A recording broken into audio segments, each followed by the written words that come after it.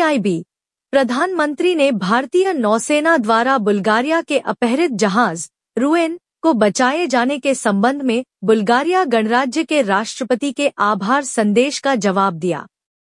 प्रधानमंत्री श्री नरेंद्र मोदी ने भारतीय नौसेना द्वारा बुल्गारिया के अपहरित जहाज़, रुएन, और उसमें सवार सात बुल्गारियाई नागरिकों सहित उसके चालक दल के सदस्यों को बचाए जाने के संबंध में बुल्गारिया गणराज्य के राष्ट्रपति श्री रुमेन रादेव के आभार संदेश का जवाब दिया है। प्रधानमंत्री ने नावहन की स्वतंत्रता की रक्षा करने और हिंद महासागर क्षेत्र में समुद्री डकैती एवं आतंकवाद से निपटने के लिए भारत की प्रतिबद्धता की सराहना की और ज़ोर दिया। प्रधानमंत्री ने एक्स पर पोस्ट किया।